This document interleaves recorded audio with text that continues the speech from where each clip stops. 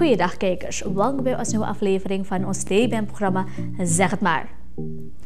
Van klein meisje tot helpen op de markt verkopen met mama en papa, tot vandaag de minister te zijn van Defensie.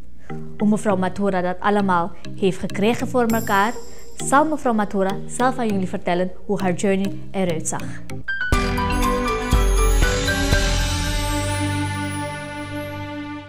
Welkom mevrouw Matura.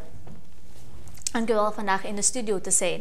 Ik geef het in mijn intro al aan, minister, um, politicus, diplomaat. Maar voor wij op die journey ingaan, wil ik eerst weten wie is mevrouw Matura? Nou, hartelijk dank voor de uitnodiging. Het is een genoegen om in je programma te zijn. Ja, wie ik ben, Krishna Mathura. Ik uh, kom uit eigenlijk uh, in de buurt van de Niet Weer Gevonden Weg. Dit is overkant van Sunny Point. Ik kom uit een groot gezin.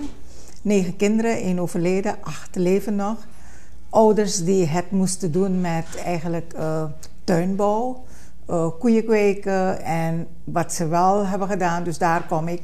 Ik ben eigenlijk het uh, middelste kind. Voor mij hebben we, heb ik een broer en um, drie zussen. Dus ik ben het vierde kind, vijfde kind eigenlijk. en daarna mij heb ik er nog vier kinderen. Hmm. Ja. Dus okay. ik ben echt het middelste. Dus eigenlijk hadden jullie geen familie nodig om een feestje te bouwen. Nog. Met z'n negen. Want als je iedereen bij elkaar trommelt, dan heb je al heel gezinnelijk. Ja, één is overleden, maar mm. inderdaad. Uh, ze, ja, je hebt eigenlijk geen andere mensen nodig. Mm. We hebben al een uh, ja, groot gezin. Mm -hmm. En nu zijn er kinderen. Alle broers en zussen hebben kinderen. En die zijn ook getrouwd. En die hebben ook kinderen een paar. -hmm. Dus ja, je hebt al gauw een 40, 50 mensen thuis. Wow. Ja. En hoe zag je jeugd eruit? Want als we praten over negen kinderen bij elkaar, met een moeder en vader, hoe was het allemaal met de kinderen bij elkaar? Want sowieso heeft u een andere tijd gekend dan ik een andere tijd heb gekend. Dus hoe was het allemaal? Uh, het was een uh, leuke tijd met broers en zussen, want uh, ja, je had niet echt een tv. Ik ben, ik ben nog opgegroeid mm -hmm. in een tijd waar we geen stroom hadden, geen stromend water hadden. dus ja, het was een tijd van uit de put, putten water halen en opvangen in tonnen regenwater. En uh, het was een tijd van echte kokolampo en lantaarns en gaslampen. Zo heb ik gestudeerd. Pas toen ik op de MULO was en eigenlijk na de onafhankelijkheid kregen we ja, stroom en ook water mm -hmm. van SWA. Dus dat was het. Um, het was gezellig. Het was met al die kinderen hadden we altijd iets, een, een, een ja, uh, allerlei leuke spelletjes en leuke dingen die we deden met buurtmensen erbij. Mm -hmm. Dus het was één grote familie. Maar het was niet alleen dat. Het was niet alleen leuke dingen. Het was ook hard werken. Hard werken was een discipline en het was een routine. Dat we op een bepaald moment moesten opstaan. Ik kan me, vanaf ik me kan herinneren eigenlijk, heb ik gewerkt en geholpen op het veld van rijstplanten, rijstoogsten, uh, koeien kweken, kippen kweken, doksen kweken uh, in de tuin werken. We moesten het hebben van de producten die mijn vader verkocht op de markt. En dat betekent dat we moesten blijven planten, vruchten planten. We hadden heel veel vruchtenbomen, sinaasappels. Dus daarvan leefden we eigenlijk. En het was een routine van, ja, uh, s morgens opstaan, uh, helpen in de huishouding, klaarmaken om naar school te gaan, lopen twee kilometer om naar school te gaan, terug en dan koken. En dan smiddags moesten we drie dagen zeker in de week achterop gaan werken. En het was van vier tot zeker totdat het donker werd. En het was echt modder, dus uh, gaan en komen. Maar ik ben blij dat ik die dingen heb gedaan. Mm. Omdat ik daarover nu kan vertellen. En het heeft me gemaakt wie ik ben. Het heeft me sterker gemaakt. Het heeft me discipline geleerd. Het heeft me hard werken geleerd. Het heeft me geleerd om dingen aan te pakken. Het heeft me geleerd om te zeggen van wat zijn problemen of wat zijn uh, moeilijke tijden. En uh, het heeft me gestimuleerd om te studeren en iets te worden. Mm. Want je wilt dat uh, eruit komen ook en zeggen van luister, ik wil iets anders doen in mijn leven. Mm -hmm. Maar het heeft me wel gevormd. Mm -hmm. ja. En als er iets is in je jeugd, het mag positief zijn als negatief, waarbij u zegt van dat was voor mij eigenlijk het klap in het gezicht dat me vandaag heeft gemaakt wie ik ben. Was er zoiets? Ja, er was zoiets. Ehm, geld. Uh, en um, mijn moeder was. Dus ik heb een zus die uh, verdronken is en dat heeft heel veel impact gehad op mijn moeder. En op een gegeven moment werd ze ziek en werd ze opgenomen vaak. Dus we hadden heel moeilijk toegang tot uh, gezondheidszorg. Dat moest betaald worden, want toen had je geen baas ook. Mm -mm. En mensen hadden min, on- en min vermogen kaart, maar je kon het niet zo makkelijk krijgen. En met acht kinderen kon je niet voor alle acht kinderen on- en min vermogen kaart hebben.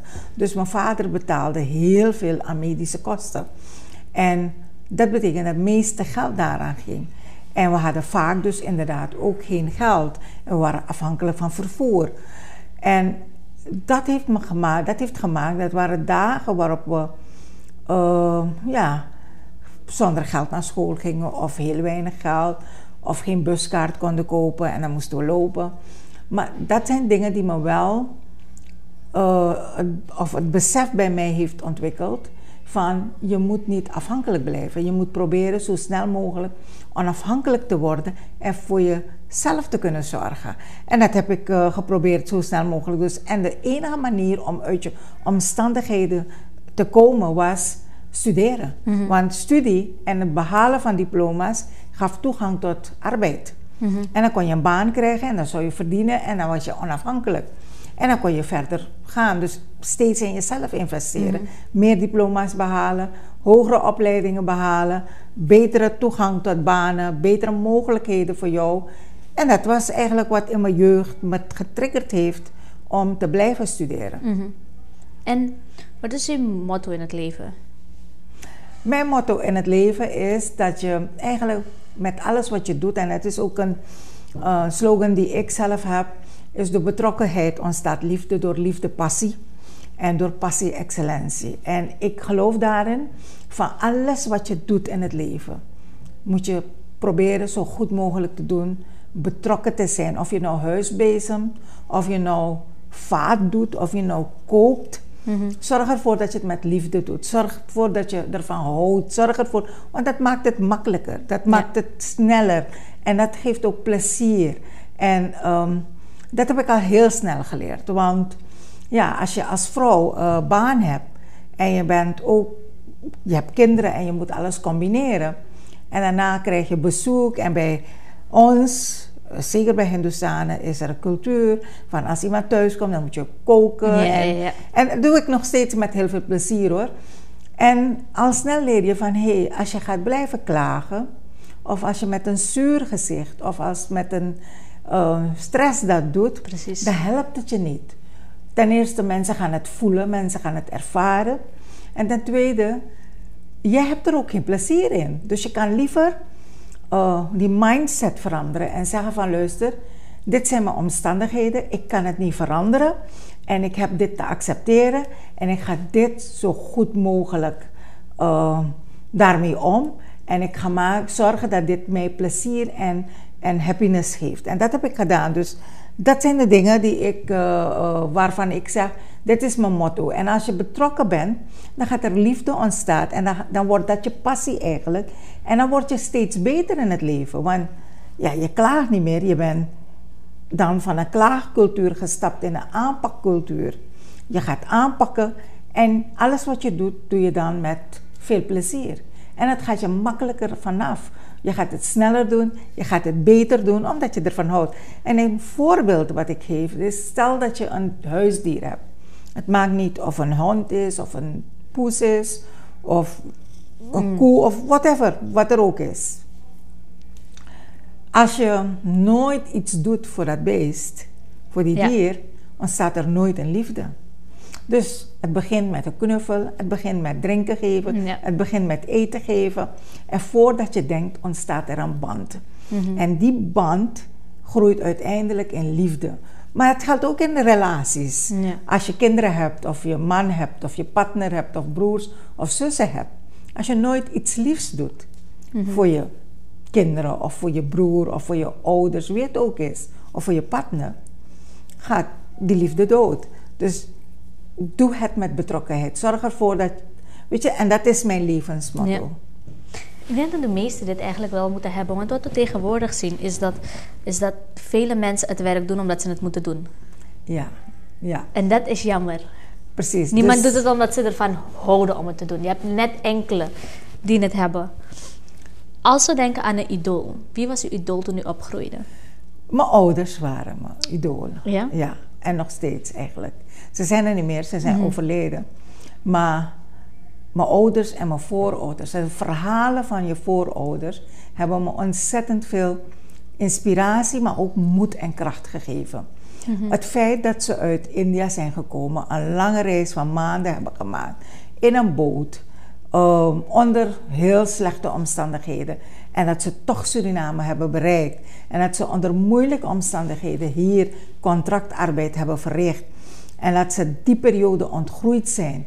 En dat ze, uh, mijn ouders ervoor gewerkt hebben. Dus gewoon een, een, een, een heel stuk land dat bos is, hebben opengekapt en geplant hebben. En Suriname hebben gemaakt van wat we nu hebben. Dat gaf me inspiratie. En die verhalen geven me nog steeds heel veel ins- inspiratie, moed en kracht. Want uh, je moet echt moedig zijn geweest om op die boot te stappen. Precies. Je moet doorzettingsvermogen hebben gehad om het vol te houden. En je moet strijdvaardig zijn geweest om al die vernederingen en al die uitdagingen en al die problemen tegemoet te treden. En dat hebben de voorouders gedaan en dat hebben mijn ouders ook gedaan. Verhalen van mijn vader, hoeveel hij liep om bijvoorbeeld naar van de commissaris Wijtenweg naar bijvoorbeeld Uitkijk te gaan, lopend, terug te komen, naar de markt te gaan, uh, met een hand bos open te kappen. Uh, dat zijn verhalen waarvan ik denk van, ja, uh, hoeveel hebben ze het niet voor over gehad om te surviven, om te overleven en om hun kinderen een beter bestaan te geven. Mm. En dat inspireert me en dat geeft me moed en dat geeft me kracht. En nog steeds, als ik bijvoorbeeld voor uitdagingen in het leven sta, dan denk ik even aan die verhalen van wat is mijn probleem vergeleken met Precies. wat mijn ouders hadden. Ja. En, mm-hmm. en, en dan denk ik van dit is niks. Mm-hmm. We leven in een heel ander tijdperk natuurlijk. Maar wanneer het gaat om je attitude van discipline en hard werken en doorzetten mm-hmm. en, en strijdvaardigheid, dan zijn het dezelfde attitude-aspecten die we vandaag ook nodig hebben om een succes van je leven te maken. Precies. En wat is uw laatste notenonderwijs? Uh, ik heb mijn master gedaan in public administration. Wacht eens even. Dus u heeft public administration gedaan en u bent bij Defensie. Ja. Bestuur, is bestuur, is bestuur. Nee, ik kom, ik kom uit een... Um, Where's that link? Where's the link? Click where? Ja, het is, het is toch bestuur. Ja. Public administration ja. is dan overheid. Uh -huh. En ik ben... Um, ik kom vanuit de achtergrond van de politie. Uh -huh. Dus ik heb 38 jaar daar gewerkt. Het is toch overheid en je Ja, bent in een leidinggevende functie, dus je moet besturen. Ja. En dat is de link met public administration. Dus, Mhm. um, en ja, ik vind van, het helpt me wel Mhm. om die samenleving te begrijpen, Ja. maar ook de overheid te begrijpen. Ja. Ja. En wat was uw favoriete vak op school? Wiskunde en natuurkunde. Public Uh, administration. um, Wiskunde defensie. en natuurkunde. Wiskunde was mijn favoriete vak. Ja, ja. Oké. uh.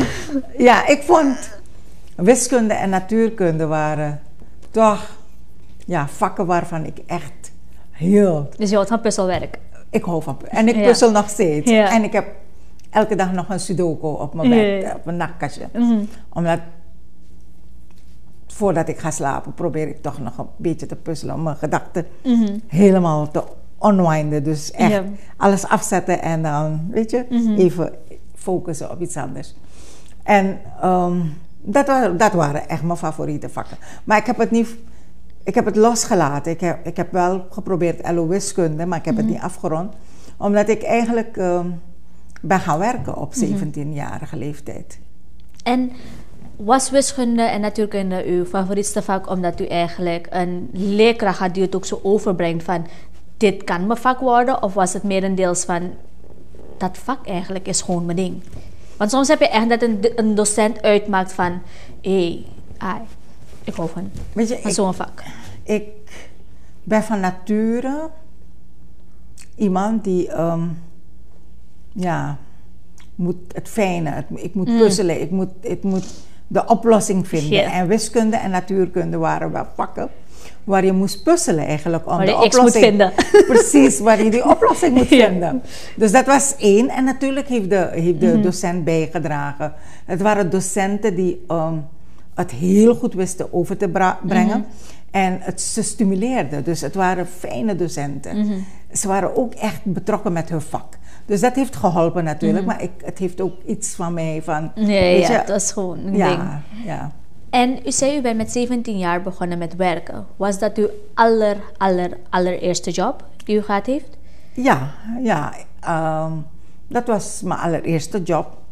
Ik heb een paar keren ervoor nog met mijn moeder, maar dat was niet mijn... Maar daar heeft u centen voor verdiend.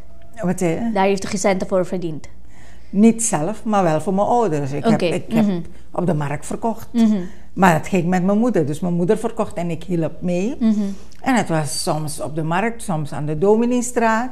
Mhm. Eh, producten die we hadden, groenten die we hadden, fruit die we hadden, brachten we, we oogsten. En dan brachten we zaterdag naar de markt om te verkopen. En het was een eerlijke manier om aan geld te komen. En dat, Ja. ja. we moesten helpen. Maar dat zie ik niet echt. Ik, zie, ik zie dat als meer ondersteunen in het gezin om ja. vooruit te komen, zeg maar. Maar 17 jaar, ik werkte bij de belastingen toen en dat was echt mijn eerste werk. Mhm, Dat was uw eerste, eerste werk.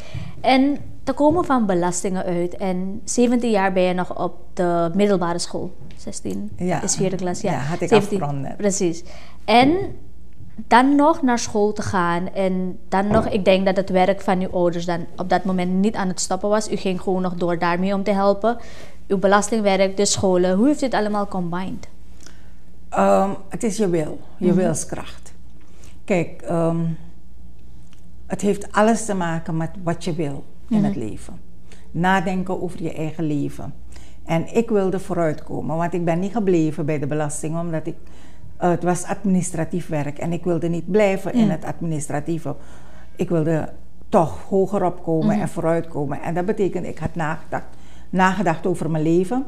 En wil je vooruitkomen in het leven, dan ga je offers daarvoor moeten brengen. Mhm. En dat betekent dat je je tijd heel erg goed moet indelen. En eh, dat deed ik ook. Dus je werkte. Smiddags ging je... Ik ging toen naar het IOL. Dus ik ging smiddags lessen volgen. En weekends ging ik helpen. Mhm. Dus dat was die combinatie. En dat heeft perfect gewerkt. En toen ben ik verder gaan studeren. Hmm, Oké. Ja. En te komen op het gedeelte van politiek. Wat was de inspiratie om politiek in te stappen? Ehm, de inspiratie was Suriname. Mhm. Van wat kan je bijdragen aan beter bestuur in het land? Mhm. Uh, hoe kan je zorgen dat mensen het beter hebben, dat we als land stappen vooruit maken? Dat was mijn inspiratie. Mhm. Ja. En wat was eigenlijk die eerste stap die u gemaakt heeft van, of al was het een spreker naar wie u luisterde en ik was like, oké, deze wordt mijn partij. Wat, wat was het eigenlijk waarbij u zegt van, oké, dit is het moment waarbij ik zeg van, daar stap ik toe. Het was eh, de leiders Mhm. van de partij waar ik nu ben, de VHP. En het was de manier waarop dus echt keek naar de leiders, was breed natuurlijk. Mhm. Ik had ook een, een, een grote bewondering van, eh, voor de toenmalige presidenten, zeg maar, Ramsewak Shankar, Mhm. maar ook eh, de heer Venetiaan. Ik vond ze heel goed, hun, hun manier van eh, aansturen, hun manier Mhm. van hun normen en waarden. Dus ik had wel ontzettend grote bewondering. Ik had ook heel veel bewondering voor meneer als Adhin, eh, Jan Adhin, die Mhm. minister van Justitie en Politie is geweest. Ehm, dat waren mensen die me ontzettend hebben geïnspireerd. En om te zeggen van, hé, hey, ik doe de stap Mhm. naar de VHP. Omdat ik zag dat men daar ook, zeg maar, ehm, hoe zeg je, vooruitstrevendheid stimuleerde. En expertise stimuleerde. Het waren Mhm. niet mensen die eh, niks wisten van een vak en dat, Mhm. die op de voorgrond traden. Nee, werd echt gestimuleerd van ga studeren en zorg ervoor dat je competent bent Mhm. voor dat werk dat je gaat doen. Mhm. Ja. En dat heeft me gestimuleerd. En als we praten over politiek, één, als we denken over politiek, worldwide, zien we dat het gewoon een mannending is. Je hebt enkele vrouwen die die stap maken van nee, I can be that change for a country. Snap je wat ik bedoel? Ja. En het zijn like, enkele vrouwen die juist die moed hebben om hun mond open te maken tussen zoveel heren. Want de heren, hoe je het keert of draait, ze snoeren je gewoon. En jij moet dan sterk staan in je been als vrouw van... nee, ik zet mijn hand op tafel en dat is het. En je dient naar me te luisteren. Wat is uw journey geweest in politiek? Waar bent u begonnen in de VHP? En dan praat ik over tot waar u vandaag bent. Dat is de minister van Defensie. Kijk, ehm, helemaal waar. Eh, het is een wereld die niet eh, rode loper voor je uitzet. Nergens. Ja. En zeker voor een vrouw niet. Um, er zijn een aantal mannen die je ook gaan ondersteunen, maar er zijn een heleboel die een perceptie hebben van hé, hey, je hoort nog steeds. En die mannen zijn er nog steeds dat je thuis hoort, dat je, Ja. dat je eh, in de keuken hoort of, of huisvrouw moet zijn.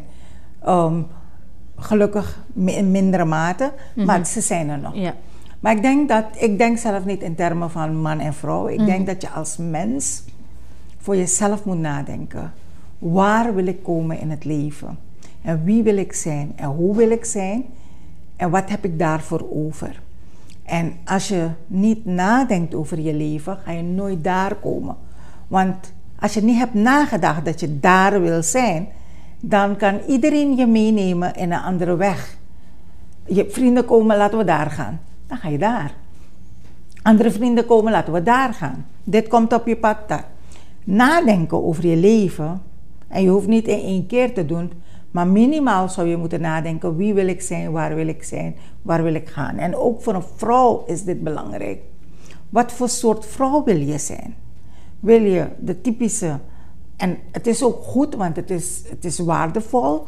Ik doe het ook. Ik kook nog steeds. Ik, ik, ik maak mijn Ja, huis nog it's a steeds 24-hour schoon. job. Maar ik wil niet alleen dat doen. Ik wil, ik wil ook van betekenis zijn voor mijn land, voor mijn Mhm. eh, organisaties. En ik wil ook eh, vooruit gaan. Dus ik denk dat je als vrouw daarover moet nadenken. Tweede is, en dat heeft te maken dus die zelfvertrouwen. En ik denk dat we als vrouwen elkaar moeten ondersteunen om het zelfvertrouwen van vrouwen op te krikken. Maar ook hun het besef te brengen dat eh, elke baan nu en elke beroep nu open staat voor een vrouw. Want vroeger was het nee, je bent niet geschikt voor dat beroep. Ik heb beroepen gedaan bij de politie die typisch een mannenberoep is. Waar weinig, Ja. nog steeds weinig vrouwen. Defensie is een, is een beroep. Ik ben de eerste vrouwelijke minister van Defensie. Het was, is Precies. altijd door mannen gedaan. Dus, ehm, en het was voor mij geen barrière om daarin te stappen, omdat ik zelfvertrouwen had en zelfverzekerd ben. En ik denk dat we daaraan moeten werken, aan, aan, aan een stukje zelfvertrouwen en een stukje ondersteuning en een stukje bewustwording naar vrouwen. En een tweede denk ik dat vrouwen ook in zichzelf moeten investeren. Want ik zou, ik ga niet eh, pleiten dat je een functie ambieert of een functie vervult waar je de competenties niet hebt. Want dat betekent dat men jou als voorbeeld gaat nemen en zeggen van luister, we hebben je die opportunity gegeven, die gelegenheid, maar je hebt het niet waargemaakt. Mhm. Ook natuurlijk zijn er bij mannen ook dezelfde. Maar bij mannen zijn ze geneigd minder dat soort opmerkingen te Precies. maken. Bij vrouwen Ja. word je direct. En het is niet goed natuurlijk. Precies. het. Maar toch moeten we blijven investeren in vrouwen en vrouwen competent maken. Mhm. Dat ze ehm, kennis hebben, vaardigheden hebben, maar ook die grondhouding van hé, hey, ik moet doorzetten. Ik Ja. ben verantwoordelijk voor mijn eigen succes. Precies. En ik geef niet op. En, ik ga tot het uiterste. En ik ga vechten voor mezelf. En opkomen voor mezelf. Precies. Zodat je ook een voorbeeld bent. Niet alleen voor jezelf. Maar voor andere vrouwen. Maar ook voor je kinderen. Dus daar, daar zou ik eh, eh, advies in geven aan vrouwen. Maar ook voor mezelf. Want dat, dat was voor mij ook. Ik laat me niet eh, wegduwen Mhm. van waar ik ben. Precies. En als we praten over politiek, heeft het een bepaalde structuur die je doorloopt. Van de kadervergaderingen tot naar, ehm hoe noem je het? Het volgen. En het is een hele dus, structuur dus eigenlijk. Precies, je begint niet direct daar. Het zijn bepaalde dingetjes die je even moet doorlopen, politiek moet leren kennen, al die dingen. Maar mijn vraag nu, voor iemand die gewoon van buiten uitkomt, dan heb ik het over just een persoon die gewoon niets weet van politiek. Is er potentie voor zo'n persoon om heden ten dagen misschien gewoon de president te zijn van het land? Kan. Ik ben gewoon, ik was nooit in de politiek. Mm. Ik ben gewoon patsboom gekomen en ik ben. Uh, ik, heb, ik ben verkiesbaar gesteld en ik ben verkozen. Ja. En ik ben DNA-lid geworden. En ik heb gewerkt als DNA-lid en nu mhm. ben ik minister. Dus mhm. ehm, die mogelijkheden zijn er. Mhm. Maar je moet je één profileren, denk ik. Je moet. Uh, politiek staat en valt met draagvlak. Ja. Dus je moet zelf werken aan je eigen draagvlak ook. Hè?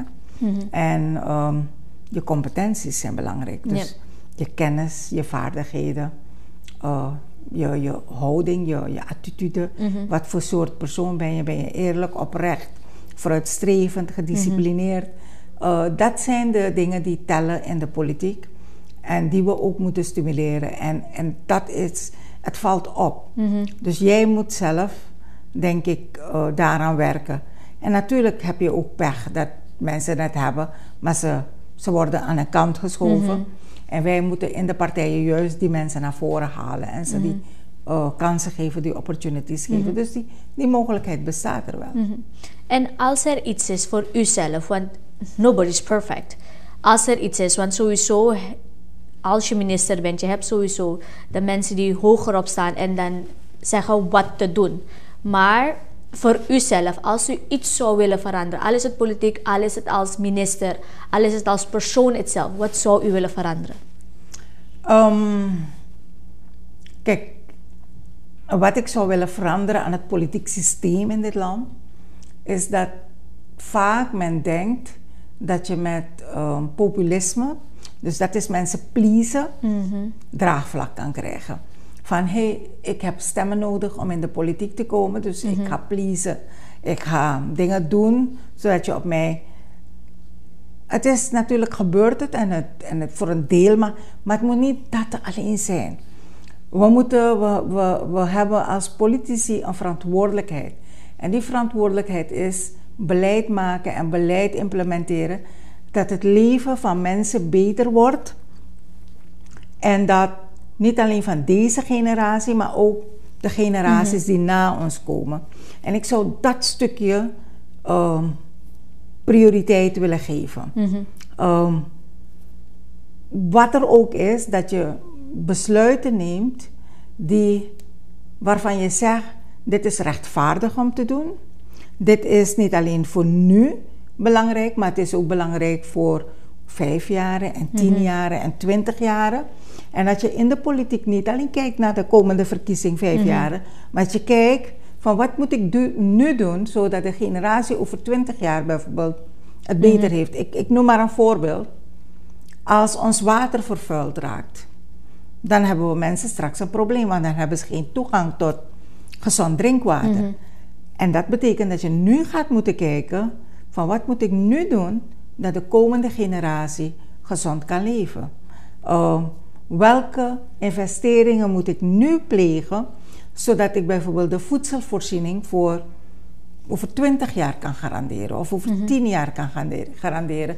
Dus dat zijn dingen die ik zou willen veranderen in de politiek.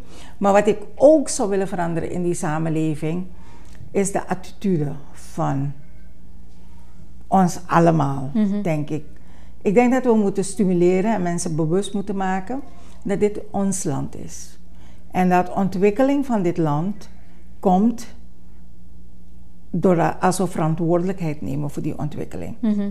Als we zelf bijdragen aan die ontwikkeling. En dat we niet het alleen moeten overlaten aan politici mhm. of wie dan ook. Wij moeten die ontwikkeling zelf ter hand nemen en op elk niveau in die samenleving. Ehm, als we propjes gooien op straat, dan geven we daarmee uh, eigenlijk een signaal van hé, hey, het maakt me niet uit, mijn land kan vies zijn. En twee is, je zorgt ervoor dat de overheid meer geld nodig heeft om het schoon te maken. En dat geld moet van ergens komen. En dat komt weer uit de zakken van het volk van Mhm. Suriname. Dus die bewustwording, daar zou ik veel meer aan gaan werken. Van, hé, hey, wat is onze verantwoordelijkheid als burgers? Uh, wat is onze verantwoordelijkheid als politici? Daar zou ik meer aandacht aan besteden. Mhm. En vanaf een heel um, jonge leeftijd, dat mensen hun rol en verantwoordelijkheid in die samenleving nemen. Dat jongeren die opgroeien dat beseffen van hé, hey, dit is mijn land. Mhm. Hier moet ik leven. En het is mijn plicht om dit land schoon te houden, goed te houden, veilig te houden, uh, gezond te houden. Ja. Mhm. Ik ga dan nog even een vraag over Defensie zelf. Um, ik wil niet ingaan op uh, wat jullie allemaal meemaken, want dan raakt heel Suriname depressief. Dat gaan we niet doen. Maar sowieso heb je enkele berichten die sowieso rondgaan van oké, um, daar heb je criminaliteit, daar heb je, noem het maar op, al die dingen. Het zijn gewoon bepaalde stukken waarbij u het gewoon voor u ziet. U maakt het mee. Wij zien net een gedeelte maken we mee, mee op Star News om het te lezen of nieuwsberichten of gewoon Facebook. Het zijn enkele dingetjes die we alleen zien. Maar jullie maken het dagelijks mee. Het zijn kleine dingen, het zijn soms grotere dingen die jullie meemaken. Wat is uw mindset? Want sowieso als je aan het werk zit, maak je het mee, je hebt het door. Maar wat is uw mindset als u thuis in de avond gaat slapen? Hoe veegt u dat weg om gewoon de volgende dag door te gaan. Die puzzel. Ja? nee, nee, nee. Um, ik denk, uh, we maken heel veel. En zeker op het politievak. Ja. Uh, het is het negatieve van die samenleving. Precies. Dat naar buiten komt. Want het is veelal kommer mm -hmm. en kwel van moord, doodslag, aanredingen, et cetera, et cetera. En iemand moet het doen. Is net zoals onze verpleegsters alleen maar zieken tegenkomen. Precies, ja. En adviseren om gezond te worden. Weet je, het is de mindset, moet je proberen.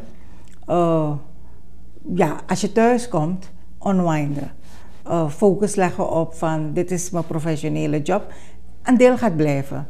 Maar het is gewoon bewust zijn en nadenken van, hé, hey, dit is professioneel en dit is privé. En uh, je zal niet 100% die scheiding kunnen hebben, maar along the run leer je het. Hoe je het moet, uh, zeg maar, van je moet afzetten. Mm -hmm. um, ik heb een simpel trick voor mijzelf als ik iets heel negatiefs of heel, uh, zeg maar, traumatisch meemaak, wat heel veel leed is, dan als ik van dat ding af ben van dat ding, dan denk ik aan iets moois direct mm. daarna om dat te veranderen, zodat ik niet, niet in die emotie blijf. Ja. Van, uh, want het is emotioneel mm -hmm. als je bijvoorbeeld naar een situatie gaat waar er een dode is, waar uh, brand is, waar uh, huiselijk geweld is, Precies. waar een verkrachting is of, of een beroving of overval.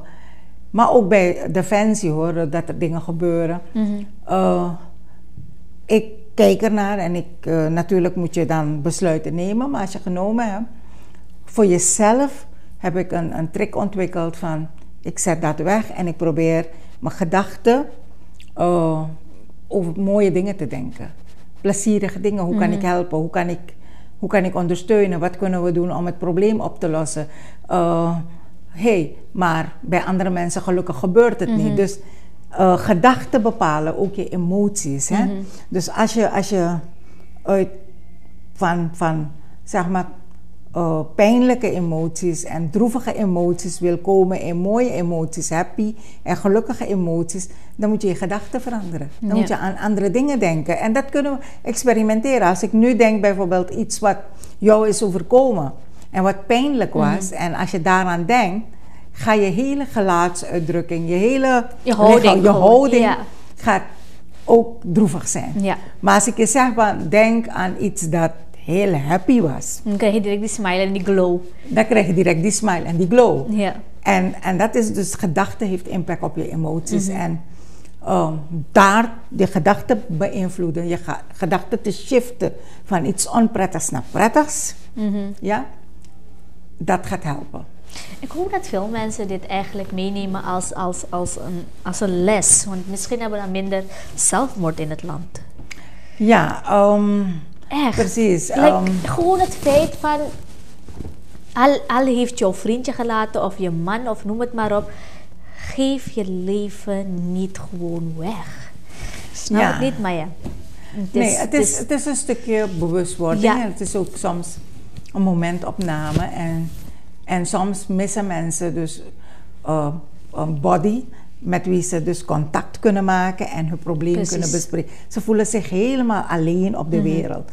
En ik denk dat eh, iedereen die kijkt en iedereen die er is, en dat we ook als verantwoordelijke ouders eh, onze kinderen moeten leren. ja, het stukje opvoeding, het begint Ja, bij de ouders, maar dan gaat het naar scholen. band. Dat Precies. Je, dat je Een mattie ergens. een of- mattie bent. Ja. Of dat je mattie creëert voor je kinderen. Twee is dat ze open zijn en bereid zijn dat datgene wat hun bezighoudt, um, daarmee naar je toe te komen. Ja. Want vaak creëren we te veel afstand Mhm. en angst ook in de relaties.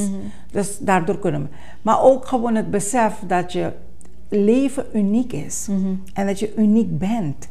En dat er een Almachtige is die ontzettend veel van ons houdt. Ehm, en dat je kansen hebt. Dat in het leven eh, mensen zijn die grotere problemen meemaken. Echt grotere problemen hebben meegemaakt. En dat ze er toch bovenop komen. Ja. Dus er zijn zoveel voorbeelden. En dat noemt men relativeren. Dat je, als jij je probleem hebt en je kijkt naar bijvoorbeeld hoe ga ik, het lijkt zo groot. Maar als je gaat vergelijken met andere mensen die grotere problemen hebben, dan lijkt jouw probleem plotseling minder dan die andere mensen. Dus wanneer we problemen hebben, moeten we ook zo denken van hé, hey, het is een probleem, wat kan ik doen? Kan ik het oplossen? Uh, anderen hebben grote problemen. Ze, hebben, ze zijn eruit gekomen, dus ik ga er ook uit kunnen komen. Vandaag niet, maar morgen zal het beter worden. Uh, vandaag voel ik me rot, want ik kan me best voorstellen, en ik, ik merk ook bij het leger, dat relatieproblemen vaak um, de grootste oorzaken zijn van allerlei uh, zelfmoord, gedachten, et cetera. Maar, en ik kan me voorstellen dat het heel pijnlijk is wanneer je relatie kapot gaat. Uh, dat je denkt van dit is het einde van de wereld. Maar geloof me, in het leven gaan er zoveel keren relaties kapot. Er zijn zoveel mensen die de eerste keer, tweede keer, derde keer uiteindelijk zijn ze super gelukkig omdat Precies. ze uh, ja, uiteindelijk een, een, de juiste partner hebben gevonden. Dus als iemand je in de steek heeft gelaten, Ja. dan moet je gewoon nadenken van misschien was hij niet de juiste voor mij. Precies. En, More vicious people. huh? Er zijn meer vissen mensen. Precies. Vissen. Dus denk, bedenk daaraan van hé, hey, Ja. dit is nog niet het einde. Morgen zal ik me beter voelen. Precies. Het is een nieuwe dag. Ja. Ik, 's morgens als ik opsta, denk ik altijd van, weet je, zolang de zon er is, de vogels fluiten, ik kan ademen. Nou, Precies. wat wil ik nog meer? Precies. En als we denken aan een mevrouw Krishna Mathura over vijf jaar, wat is uw plan? Ehm, over vijf jaar is, eh, denk ik, eh, voor mij nu gezondheid. Dat ik gezond ben en dat ik eh, voldoende energie heb. En dat ik eh, dienstbaar blijf aan die samenleving. Ik weet niet hoe, maar dat ik dienstbaar blijf op een eh, enige manier in die samenleving. Dat is waar ik denk. En dat ik een, blijf genieten van het leven. Blijf genieten met mijn kinderen, met mijn kleinkinderen, met vrienden, familie. En dat ik kan bijdragen aan hun geluk ook. Dus dat is mijn plan. Over vijf jaar. en op politiek wise over vijf jaar? I don't know. You never know. You never know where politics know. brings you. Want vandaag I is er iets, know. morgen is er iets anders. Precies, I don't know. Um, Ja. Maar ik ben wel positief in Ja. het leven. En Zeker. als je positief bent, opportunities gaan blijven komen. Nee, Kansen gaan blijven komen. Het is aan jou om die kansen te pakken. zeker. En kansen te creëren ook voor jezelf. Hmm. Ja. Oké. En als laatste zou ik u willen vragen: heeft u een boodschap naar deze Surinaamse samenleving? Als, u, als ik uw journey op een, op, op een lijn zou mogen zetten. U bent van iemand van het werken, het uitputten van al, je noemt het maar op, tot minister vandaag. Is een journey die je eigenlijk niet eens zou denken, om het zo te zeggen. Maar kijk waar u vandaag bent. Um, heeft u zo'n boodschap naar deze jongeren toe? Dat zij hunzelf ook bewijzen in deze maatschappij. Dat ze niet met vrienden op hoeken blijven hangen en blijven kletsen. Of de hele dag achter die telefoon zitten. Maar dat zij, als wat u zegt, kansen creëren voor hunzelf. Heeft u zo'n boodschap naar deze jongeren toe? Ja, ik heb zeker een boodschap naar deze jongeren toe. Uh, laat, me, laat me zeggen, ik ben ook erg dankbaar dat ik in de afgelopen jaren deze journey heb mogen meemaken. En het heeft me ontzettend verrijkt in vele gebieden, op vele gebieden. En ik denk dat als ik het heb kunnen doen, dat je het ook kan doen. En je kan het doen, je hebt die potentie. Ik geloof zelf dat elk een van ons uniek is en onmetelijke potentie heeft. Maar je gaat er iets voor moeten doen. En wat je ervoor moet, gaat moeten doen, is nadenken over je leven. Hoe wil ik zijn? Hoe wil ik worden over vijf jaar? En wat wil ik worden over vijf jaar, tien jaar? Hoe wil ik dat mensen over mij praten? Hoe wil ik mezelf voelen over mezelf? Wil ik um, voelen van, hé, hey, ik lever geen bijdrage? Of wil ik, wil ik voelen van, hé, hey, ik leef toch een, een, een, behoorlijke bijdrage. Niet alleen aan mijn eigen ontwikkeling, maar in mijn omgeving, in mijn gezin, in mijn familie, aan buren, aan kennissen, etc. En als je daar begint na te denken, ga je zien dat opportunities op je pad komen op je pad gaan komen. En het is aan jou om die opportunities te grijpen en succes van je leven te maken. En succes kan op alle manieren. Niet iedereen hoeft minister te worden, maar die kans is ook voor jou weggelegd. Niet iedereen kan president worden, maar jij kan het wel worden. Niet iedereen kan een zanger worden, maar misschien heb je die talent om een zanger wel te worden. En als je consistent doorwerkt. Als je plannen maakt, als je je tijd goed gaat besteden, want niks gaat uit de lucht komen vallen. Je gaat niet alleen moeten willen met je gedachten, je gaat ook hard moeten werken. Nog steeds, ik werk ook hard, nog steeds, je gaat hard moeten werken. Je gaat actie moeten ondernemen. En niet, elke, niet één dag, maar elke dag. Ik blijf heel simpel zeggen: van we willen allemaal schoon zijn.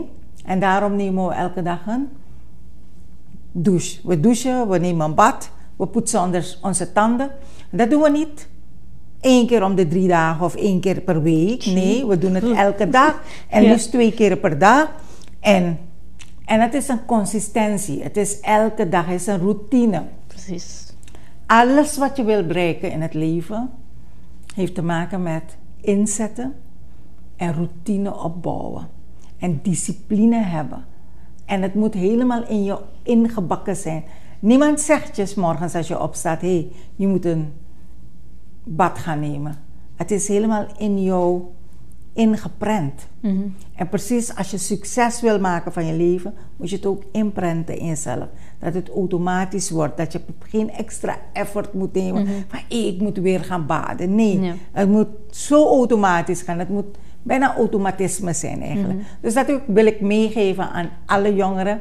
Jullie zijn uniek, ja, en jullie kunnen echt een bijzonder verhaal en een bijzonder succes maken van jullie leven. Hmm. Dank u wel voor die boodschap en sowieso wat u zegt.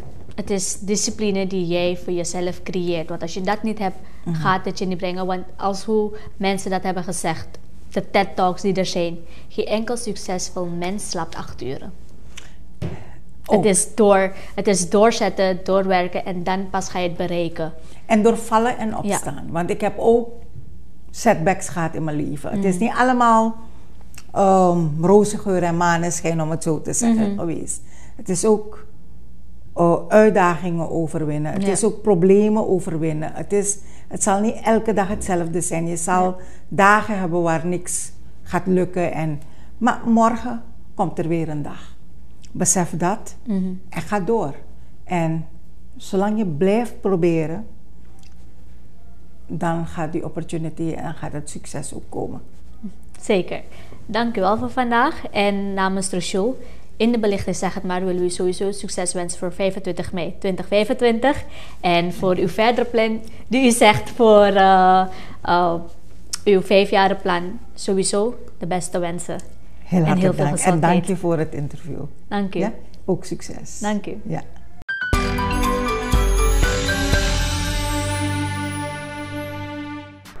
Wij zijn aan het einde gekomen van ons